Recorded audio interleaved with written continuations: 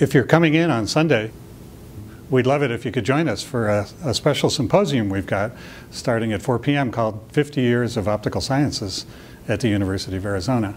And it's really for students and uh, professionals alike in the field to find out what, what we're up to here at the College of Optical Sciences after an introduction by the mayor of Tucson, uh, Jonathan Rothschild.